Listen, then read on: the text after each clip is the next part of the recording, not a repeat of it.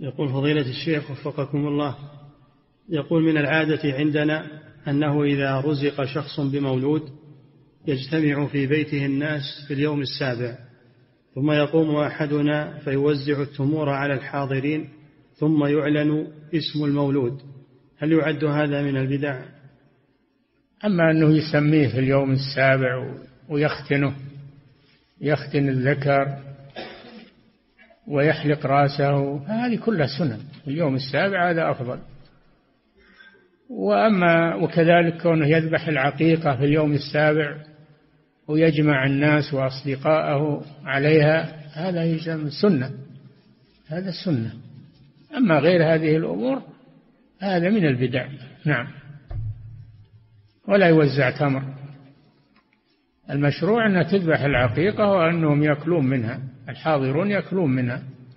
هذا هو السنة. ما توزيع التمر هذا بدعة. نعم. أو توزيع الحلوى. نعم.